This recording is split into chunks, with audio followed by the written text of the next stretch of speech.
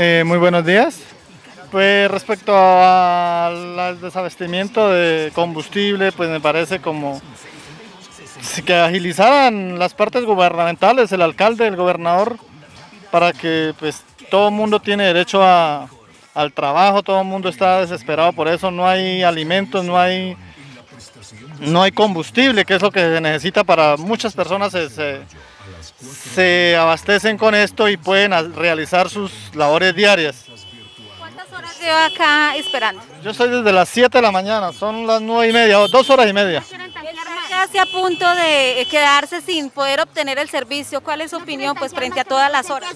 Pues imagínese, pues imagínese ya dos horas y media y para que me digan que no hay gasolina, pues que imagínese, no sé, estoy bregando a ver si de pronto me dejan a mí de última al menos los vehículos que estaban adelante de usted a esa hora? Sí, claro, vengo desde el frente de la VIP, donde era la VIP antiguamente, desde allá vengo. ¿Esperan ustedes que pues se dé una solución pronta para poder salir a laborar?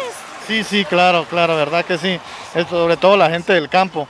Yo, mis padres son campesinos y, y sus productos no los pueden sacar de pronto porque no tienen gasolina y no les venden tampoco en galones porque hay gente que está aprovechando la situación y de pronto los que pagan son los, platos rotos son la gente del campo.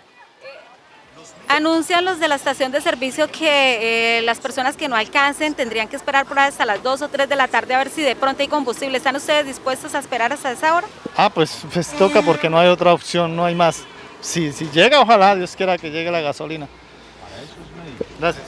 Bueno, este es el pronunciamiento de varias personas que se encuentran acá en este sector de la estación de servicio de la Carpa, en la 24, en la calle 24, eh, en el municipio de Yopal, quienes pues como podemos observar es larga la fila, eh, eh, gira casi hasta la salida a la marginal del llano, donde son varias las personas que de pronto no alcanzan a a poder eh, tanquear sus vehículos, según ha informado la estación de servicio, porque ya se ha agotado el abastecimiento de combustible que se tenía eh, hasta este momento para poder eh, ofrecer el servicio a los ciudadanos.